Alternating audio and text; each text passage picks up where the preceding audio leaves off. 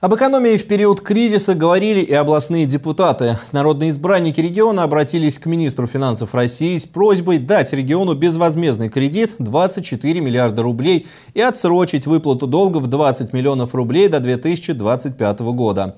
Этими мерами народные избранники хотят обеспечить Саратовскому региону развитие и облегчить бремя госдолга сумма которого достигла 50 миллиардов рублей. Соответствующее обращение в Минфин парламентарии одобрили на заседании очередной областной думы. Какие еще законопроекты приняли народные избранники в нашем следующем сюжете.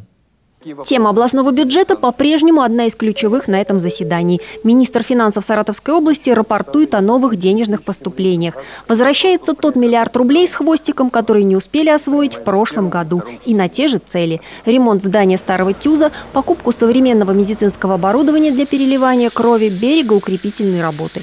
Отдельным законопроектом областные депутаты выполняют указ президента Путина к 70-летию Великой Победы обеспечить всех ветеранов жильем. Цена вопроса – 43 миллиона бюджетных рублей. Сейчас остается таких у нас 28 ветеранов, которые стоят на учете, и поэтому мы приняли решение, что в первую очередность именно перед ними должна быть закрыта жилищная э, проблема э, и улучшены их жилищные условия. После этого заседания изменится порядок сбора платежей в общий котел фонда капитального ремонта. Люди Люди жалуются на путаницу с квитанциями. Фонд открыл 1660 счетов, но платежки оформляют и рассылают управляющие компании и часто относятся к новой нагрузке безалаберно. Многие управляющие компании отказались. Ряд управляющих компаний э, при выставлении платежей используют свои основные счета. Вот недавно принесли платежку буквально в понедельник в Волжском районе. Я ее в прокуратуру Волжского района отправил.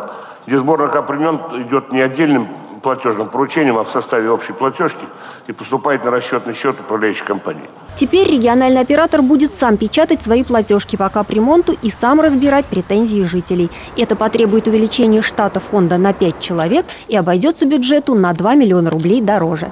На чем сэкономить тоже нашли. Депутаты одобрили инициативу губернатора сократить размеры ежемесячного денежного вознаграждения себе и министрам на 10%. Общая сумма невелика. Важнее жест доброй воли, говорят народные избранники.